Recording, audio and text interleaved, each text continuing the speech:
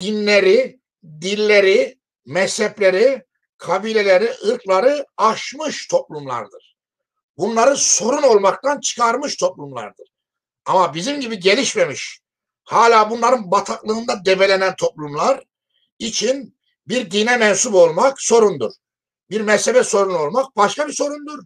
Bir dili konuşmak, o dilin de iktidardaki resmi e, dil sahiplerinin, savunucularının e, karşıtı veya onlardan farklı bir dil olması tamamen sorundur. Eğer bir devlet şu din benim resmi dinim diyorsa o dinden mensup olanlarla sorun yaşayacak demektir. Eğer bir devlet şu mezhep benim resmi mezhebim diyorsa yazılı veya sözlü olarak fark etmez.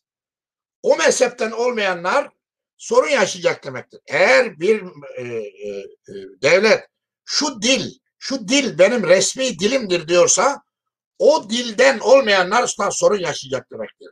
Eğer bir e, devlet şu ırk, şu kabile, şu etnik köken benim resmi kimliğimdir, devletimin, ülkemin tanımıdır, bu kimlik esastır diyorsa bu kimliğe mensup olmayanlarla sorun yaşayacak demektir. Eğer bir devlet şu ulu kişi, şu peygamber, şu şahıs, şu komutan benim resmi komutanım, ulu kişim ve e, liderimdir.